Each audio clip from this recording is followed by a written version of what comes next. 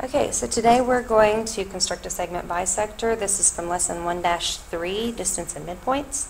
And if you remember from our notes, um, a segment bisector is going to cut a segment directly in half. So we're going to draw a line first. And within that line, we're going to have segment AB.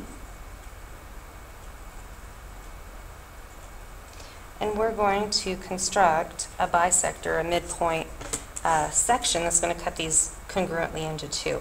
So we're going to take our Safe-T compass, we're going to line it up on point A, and we want to choose a point more than half. So if half is here, we want something past half that uh, we can use. So I'm going to go clear over, let's go here, and we're going to draw an arc above the line and below the line.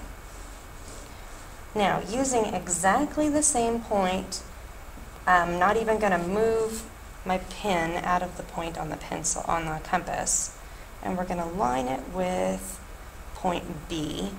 So brass ring on point B, I still have my pin in the exact same hole that I had it in before, and we're going to draw um, an arc that is going to cross the arcs that we did from point A.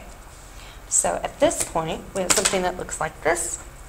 We're going to name this point C, and their intersection here is going to be point D. We can take our straight edge then and connect point C and D to create a new segment. And this perfectly intersects, it's a perfect midpoint for A um, and B, and we're going to call this point M for midpoint. And the cool thing is this is going to be perpendicular, so we've also constructed a perpendicular bisector. And we know at this point that line segment AM is going to be congruent to line segment MB.